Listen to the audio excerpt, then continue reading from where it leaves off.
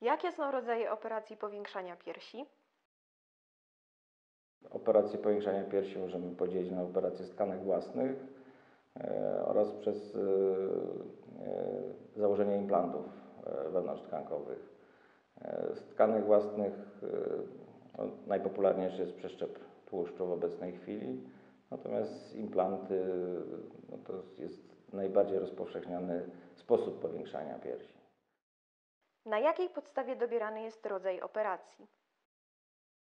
To jest decyzja pacjenta. Przedstawia mu się wszystkie za i przeciw. Wiadomo, e, operacja z- na tkankach własnych ma się tkanki własne. E, nie ma groźby odrzucenia. Mniejsze ryzyko związane z obecnością ciała obcego. W e, przypadku e, implantu no, mamy ciało obce, które może e, powodować mniejsze lub większe objawy uboczne. Jak dobierany jest implant? Implant to przede wszystkim trzeba e, decyzja, decyzja pacjentki i od jej budowy. Nie można e, małej, małej kobiecie zaserwować olbrzymich implantów. Poza tym też w zależności od